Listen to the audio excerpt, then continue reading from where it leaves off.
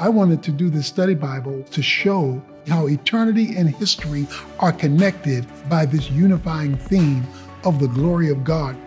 It lets you not only read it, but also see it.